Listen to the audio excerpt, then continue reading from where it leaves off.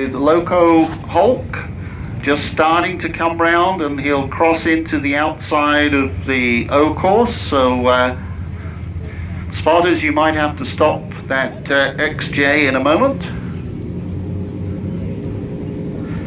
So when Hauk Designs and Brecken is steam powered JK, six wheel JK, as he comes round, give them a big round of applause. He and his team built this Jeep, as I say, in eight weeks for Discovery uh, History Channel. Oh, he's trying to get the whistle going. You blow it.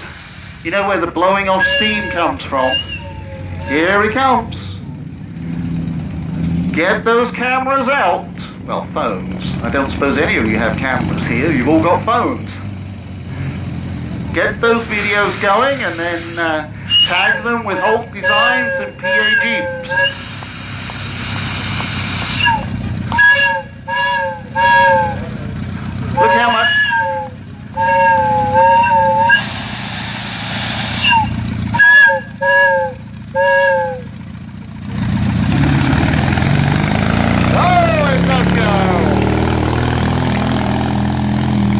Hauk Designs with Loco Hauk.